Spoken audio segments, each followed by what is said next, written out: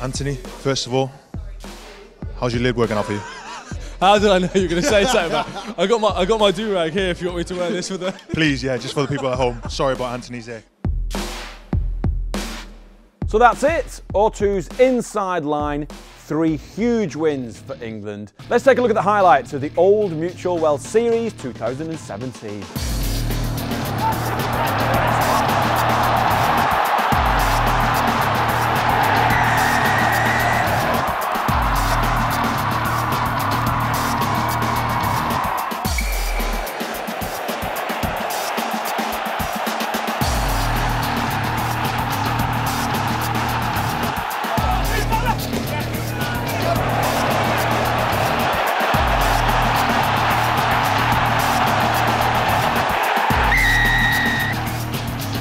Up. Oh. And she will go the full length of this half of the pitch.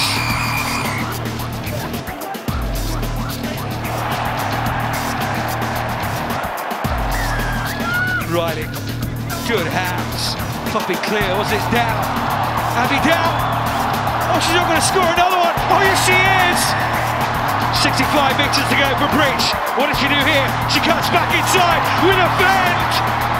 Jess Breach and the Red Roses in full bloom here at Twickenham. So there you go, that's us wrapping up the inside line for O2 and the Old Mutual Wealth Series. It all went to plan, apart from these bits. Can you tell us what's in your Weetabix? Um, I don't eat Weetabix. Have that.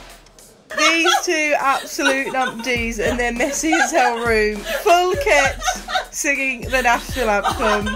We don't know when we sing the national anthem what tone to go at because we always start too low and then we just we're just basically talking. So okay, let's just practice it. The next thing I knew, we were both in our anthem jackets, arm in arm, looking towards the mirror.